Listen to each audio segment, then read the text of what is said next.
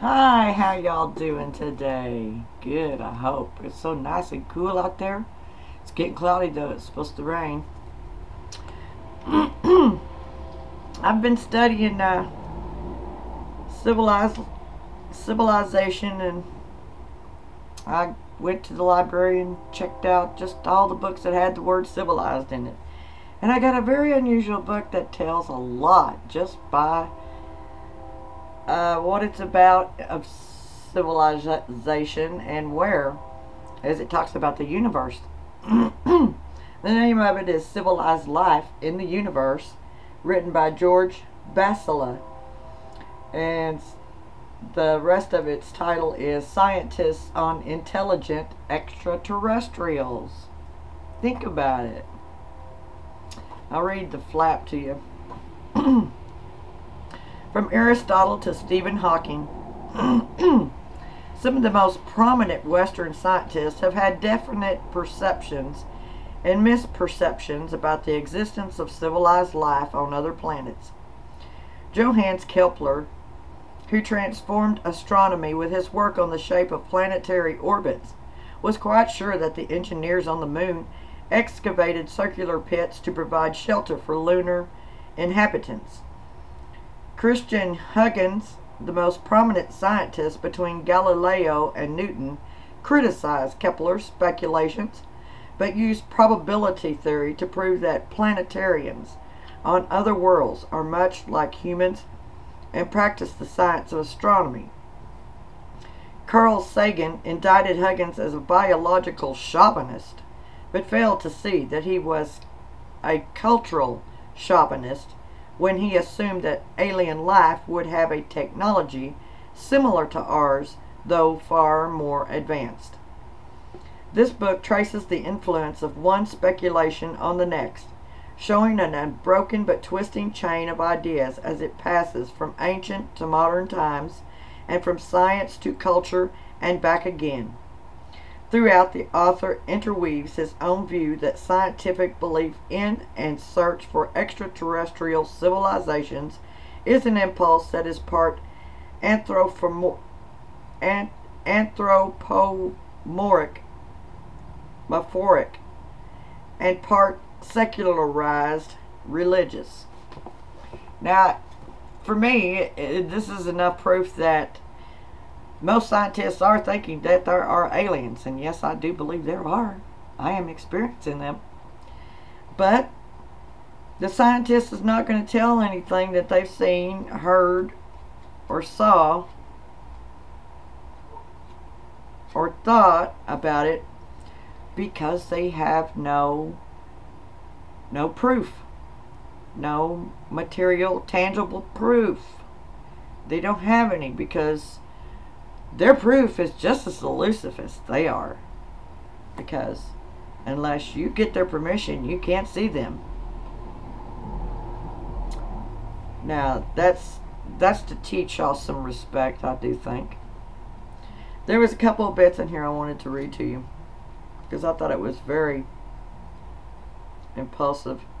And I also wanted to add that any man unless he was seriously considering something, that's a, the only time he has conversations with other men about it.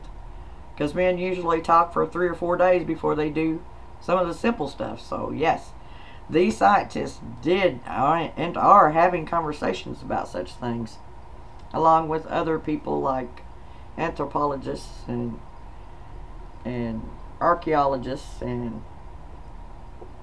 anyone they're connected to which is a lot for scientists.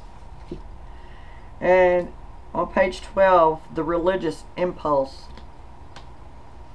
says, so the idea of advanced extraterrestrial life emerged from a background of philosophical, religious, and scientific thought, with science and the last ingredient added to the mix.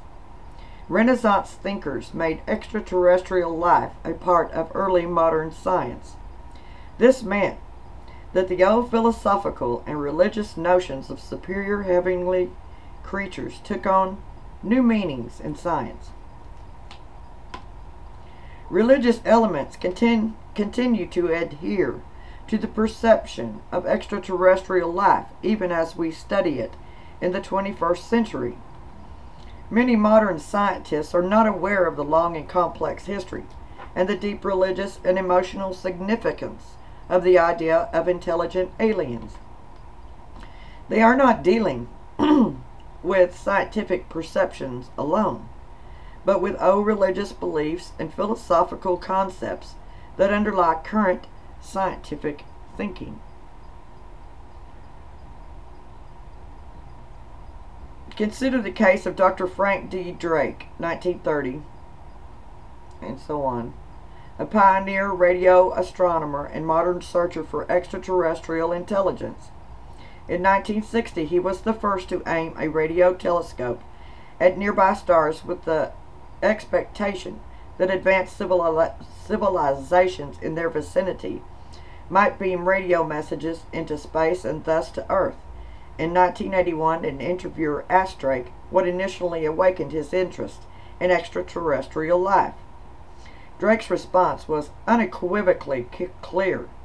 A strong influence on me, and I think on a lot of SETI, search for extra, extraterrestrial intelligence, people, was the extensive exposure to fundamentalist religion.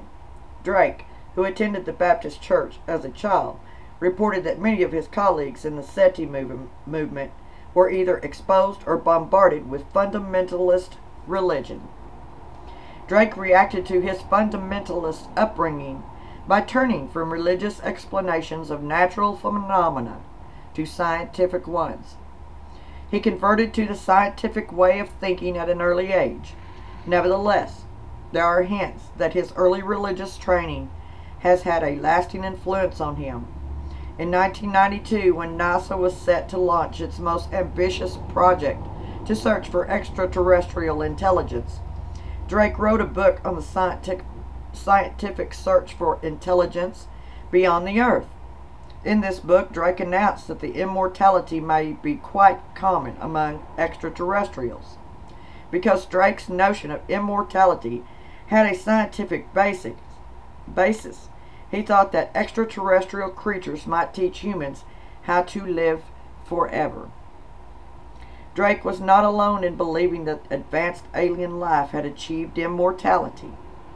In 1981, NASA physicist Robert Jastrow claimed that the older planets in the universe contain life, a billion years older and more advanced than man. Scientists on these ancient worlds long ago discovered the secrets of the brain, united mind with machine, and created a race of immortal beings.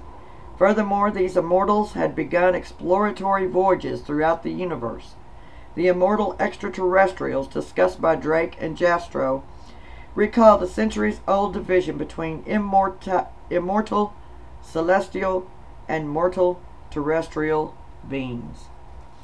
And yes, my dears, the rich men are still dreaming of living forever and being immortal. And they're paying scientists to study these things, I'm sure. But uh, they're keeping mum on that as far as news is concerned. Because uh, they know the Bible says it ain't gonna happen. No. It's guarded by God's angel. now, the other part, civilization became a popular term in the 18th century when it defined a polished and refined state of society. Civilization was contrasted with barbarism or savagery, which possessed much lower levels of social organization, moral behavior, artistic sensibility, and knowledge. Many 19th century anthropologists mistakenly believed that all human societies pass through a savage and barbaric stage before they reach the heights of civilized societies exemplified in Western Europe. By the 19th century, science and technology became important parts of the definition of civilized life. The existence of science and industry in Europe and America was proof of the superiority of Western civilization. Modern searchers for intelligent extraterrestrial life consciously chose advanced technological civilizations as their models for alien societies.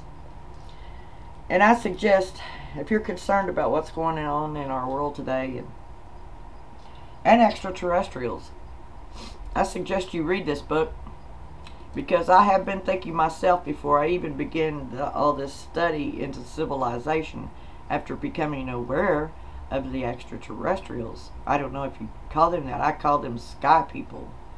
And um, I'm sure there's some troubles here that even they're worried about. Or why else would they want some of us who are honest to reveal them? Because basically, they are still finding living beings of all sorts on this earth that we they've never seen before. They didn't know existed.